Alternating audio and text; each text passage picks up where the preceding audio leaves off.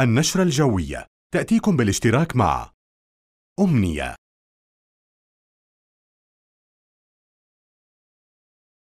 المناصير للزيوت والمحروقات.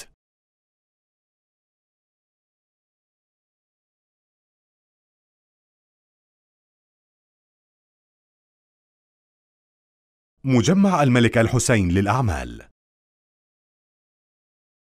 متابعينا الكرام في الأردن أسعد الله أوقاتكم بكل الخير إليكم. نشرة الأحوال الجوية الرئيسية لهذا اليوم والتي نبدأها بآخر صور للأقمار الاصطناعية. الواردة لدينا هنا في مركز طقس العرب والتي تشير تقريبا إلى خلو سماء المملكة من تواجدها من لأية سحب وغيوم. ولكنها ذات الصور تشير لاستمرار تشكل الضباب في أجزاء من شمال غرب المملكة العربية السعودية وامتداد أحيانا إلى مناطق البادية الأردنية. هناك كميات من السحب والغيوم كما نلاحظ في المنطقة الشرقية للبحر الأبيض المتوسط. تتقدم هذه السحب باتجاه المملكة لكنها من النوع غير الممطر ومتوقع أن تظهر على فترات خلال 48 ساعة القادمة على شكل سحب وغيوم متوسطة وعالية. خارطة الضغط الجوي تشير لاستمرار تموضع مرتفع جوي فوق المنطقة الشرقية للبحر الأبيض المتوسط مع تواجد امتداد لمنخفض البحر الأحمر باتجاه الأراضي المصرية خلال اليومين القادمين. الأمر الذي سيعمل على استمرار تدفق الرياح الجنوبية الشرقية التي قد تنشط أحيانا ولكن تبقى الأجواء مستقرة بوجه عام ودرجات الحرارة أعلى مما هو معتاد عليه لمثل هذا الوقت من العام. بالنسبة لتوقعات الأحوال الجوية هذه الليلة في العاصمة عمان الأجواء تكون أهم ما يميزها بوجود الرياح النشطة. درجة الحرارة صورة 9 درجات مئوية ولكن درجة الحرارة الملموسة تصل إلى 6 درجات مئوية والرطوبة النسبية تصل إلى 81 بالمئة والأجواء تكون تزيد هذه الرياح عفوا أحيانا من الشعور بالبرودة في بعض الأوقات. وبعض الفترات. تفاصيل توقعات الأحوال الجوية خلال ثلاثة أيام القادمة للأسف تبقى المملكة ضمن حالة الانحباس المطري. خلال الأيام القادمة وحتى نهاية هذا الأسبوع مع المزيد من الارتفاع على درجات الحرارة. تسجل يوم الثلاثاء 16 يوم الأربعاء 17 ويوم الخميس 18 درجة مئوية وبالتالي تصبح متجاوزة لمعدلاتها المعتادة مثل هذا الوقت من العام. وفي ساعات تقريبا بين 8 إلى 9 درجات مئوية. تبقى الرياح الجنوبية الشرقية نشطة السرعة أحيانا يومي الثلاثاء والأربعاء. على وجه الخصوص. هذه حالة الانحباس المطري التي تعيشها المملكة تظهر ضمن خرائط توزيعات الأنظمة الجوية والتي تشير أن المملكة على أقل تقدير ستبقى ضمن تأثير هذه الأحوال الجوية المستقرة آه، حتى تقريبا الأسبوع الثاني من شهر يناير كانون الثاني لهذا العام.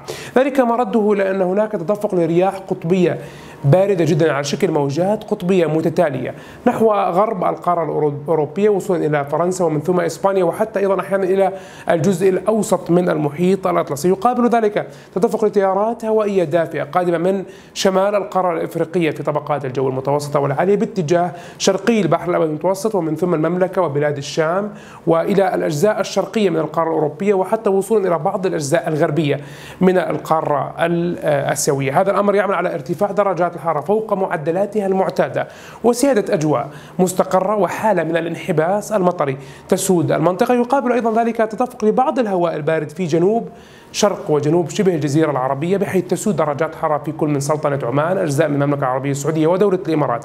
بها درجات حرارة دون المعدلات المعتادة. ولكن بحسب آخر نواتج آه، آه، التنبؤات الجوية الحاسوبية لمحاكاة تحركات الكتل الهوائية يتوقع أن يحدث تغيير جذري على هذه الأنظمة الجوية السائدة وذلك اعتبارا من منتصف آه، الشهر الحالي. فكما نلاحظ هناك تغيير كامل في شكل المنظومة الجوية. يتمثل باندفاع مرتفع جوي نحو غربي القارة الأوروبية المناطق الغربية والجنوبية الغربية من القارة الأوروبية ووصول إلى بعض الأجزاء الشمالية من الجزيرة العربية. يقابل ذلك تحول الامتداد للهواء البارد من المناطق الغربية للقارة الأوروبية باتجاه المناطق الشرقية من القارة الأوروبية وصولا إلى المناطق الوسطى آه، من البحر الأبيض المتوسط والمناطق الوسطى من القارة الأوروبية بطبيعة الحال. وهذا سيسمح بمشيئة الله تعالى تشكل منخفضات جوية في المنطقة الوسطى للبحر المتوسط وتحركها شرقا باتجاه المملكة.